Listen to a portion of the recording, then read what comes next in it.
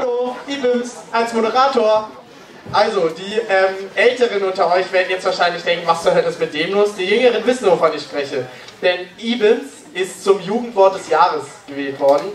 Ähm, ja, jetzt fragen Sie sich bestimmt, wie sah das denn in den letzten Jahren aus? Ben, maintenant, il y aura un quiz sur les langages des adolescents présenté par Bérénice et Bill.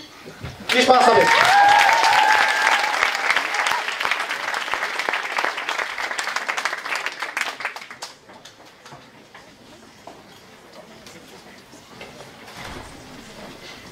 So, hallo, ich heiße nicht nur Finsa und euch alle auch herzlich willkommen zu dieser kleinen Show von mir, meiner reizenden Klassenkameradin Denise. Allerdings bräuchten wir für die Durchführung zwei Lehrkräfte, die uns unterstützen bei diesem Quiz. Herr Remmer! Haben wir gedacht, vielleicht unser Deutschlehrer Herr Beutel, falls er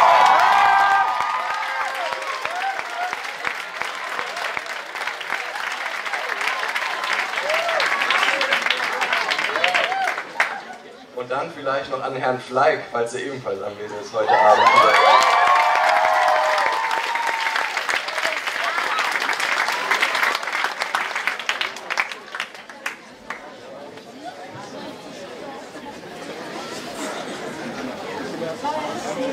Wir können beide erstmal Platz nehmen.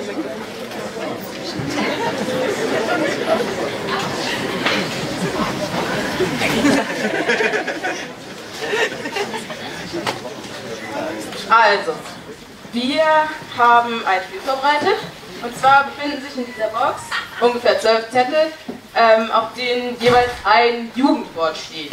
Und es geht darum, diese Wörter so gut es geht zu definieren, falls Sie nicht wissen, was sie bedeuten. Sprich, wir ziehen gleich ein Wort aus dieser Box.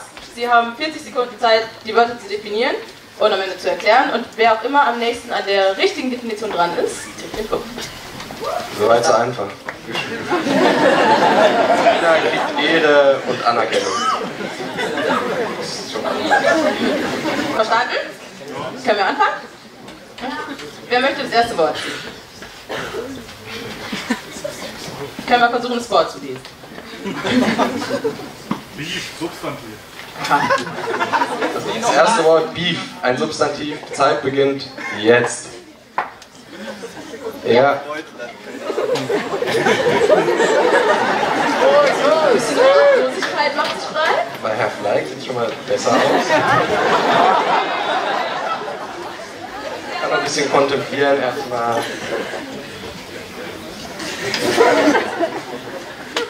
Kennen Sie das englische Wort? Oder nicht?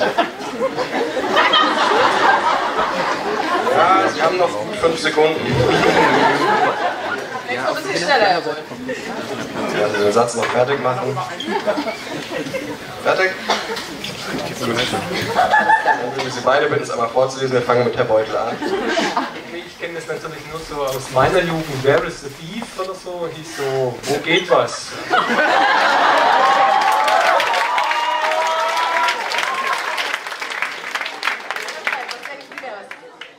Könnte ja aus meiner Jugend sein. Mit krassen Ärger oder Stress mit jemandem.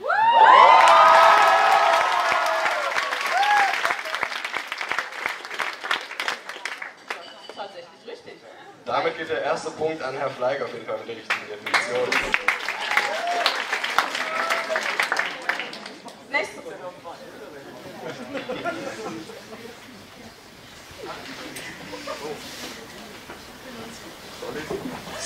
Squat.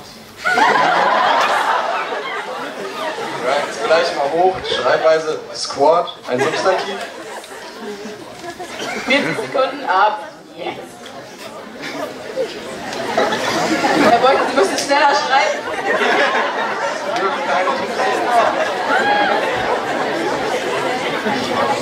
Sie sehen ja, dass es ein Jugendwort ist.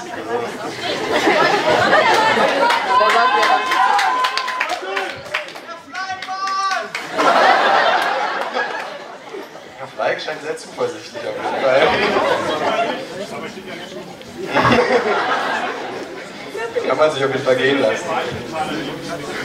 Dann lassen wir das Publikum abstimmen. So, die Zeit ist um. Wir beginnen wieder bei Herr Beutel. Wieder bei mir. Wir können auch bei Herrn Bleib beginnen. Hausbesetzung habe ich.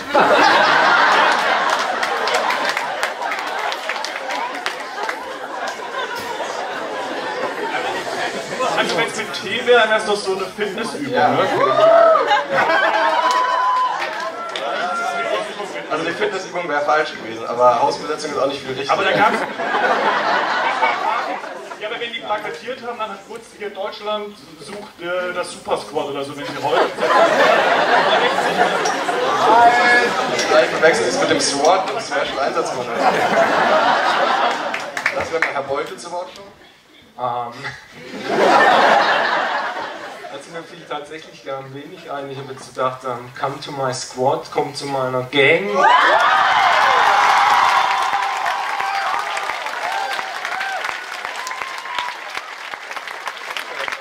richtig. Damit steht 1 zu 1 jetzt wieder. Ja.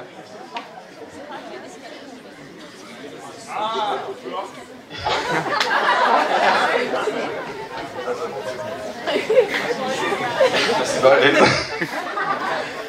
Also das Wort ist twerken, ein Verb.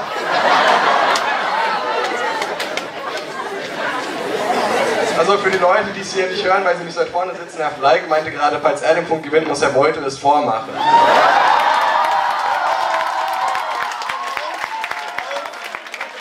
Damit beginnt die Zeit jetzt.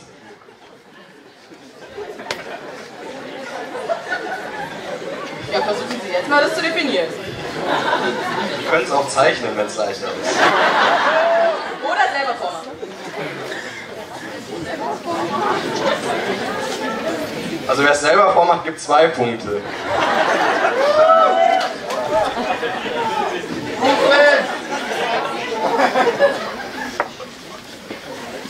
Fertig? Sehr gut. Dann fängt diesmal wieder Herr Beutel an. Okay, also ich dachte so Worken, also so Workout, ein getanztes Workout. Das geht in die Richtung. Fragen wir mal weg. Ja, also du musst halt mit deinem Hintern so hoch und runter machen.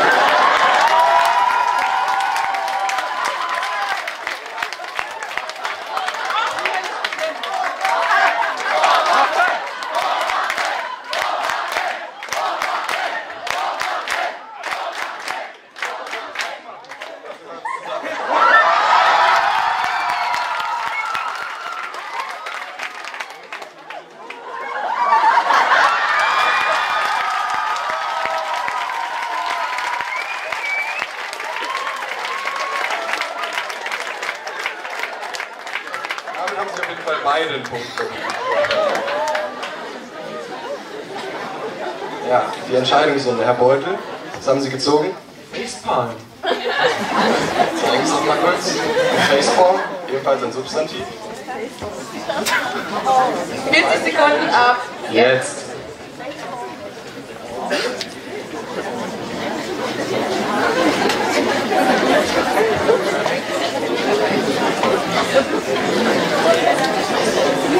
Ja, beide haben eine ähnliche Tendenz auf jeden Fall schon mal.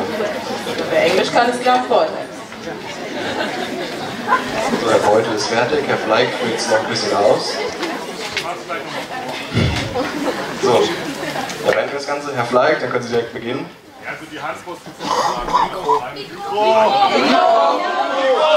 Also wenn du dir die, die Hand so vors Gesicht äh, hältst, weil man was Peinliches gemacht hat. Vor Scham, ja. Scheint zu stimmen, was sagt der Beutel dazu? Ähm,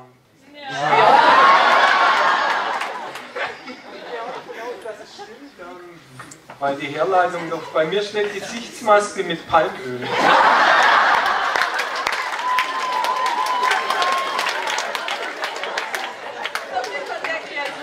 Kreativ, aber der Punkt geht leider an Herr Fleig, womit auch der Sieger des heutigen Abends ist.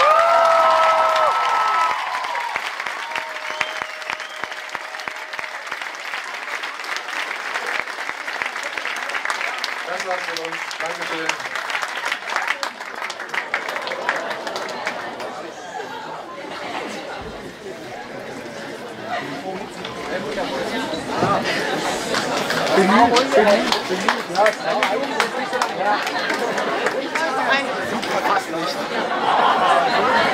Ja,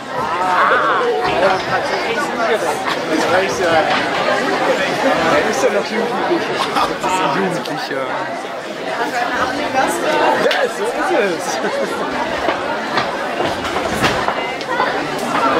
So, ich denke, die Nummer hatte wirklich alles.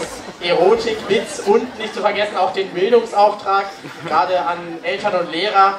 Wenn jetzt mal irgendwie ihre Kinder oder Schüler mal so unter sich reden, dann können sie auch mal einen flippigen Spruch raushauen, oh, das aber lit oder oh, Facepalm oder so. Ähm, Also der Bildungsauftrag kommt hier nicht zu kurz. Alors pour la prochaine chanson, il faut que je vous raconte une petite histoire. Alors pendant la euh, journée de la randonnée de, il y a de cette année, de la classe de L, il y avait deux filles qui sont naturellement très très très lentilles, mais malheureusement ils n'ont pas suivi les règles de M. Lothaire. Du coup, euh, M. Lothaire leur a donné une punition parce qu'ils ont sauté dans le lac du Titi. Et donc le prof, M. Lothaire, euh, euh, mais malheureusement M. Lothaire n'est pas là. Très très très dommage. Mais malgré cela, voilà la terminale L1 avec Coco Kaline.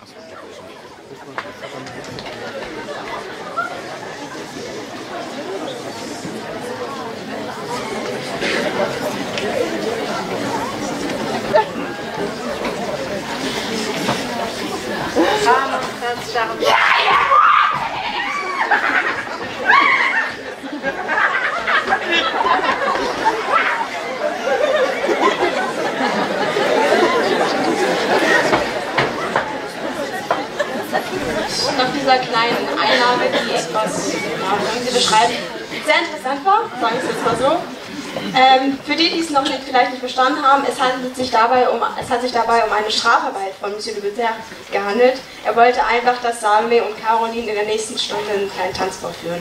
Nur, genau, es wisst. Und jetzt mal zu einem, zum Kontrast dazu zu etwas, ja, klassisch, etwas klassischer. Nun haben wir nämlich die große, große Ehre, eines der größten musikalischen äh, Talente Freiburgs vorzustellen, nämlich Elias.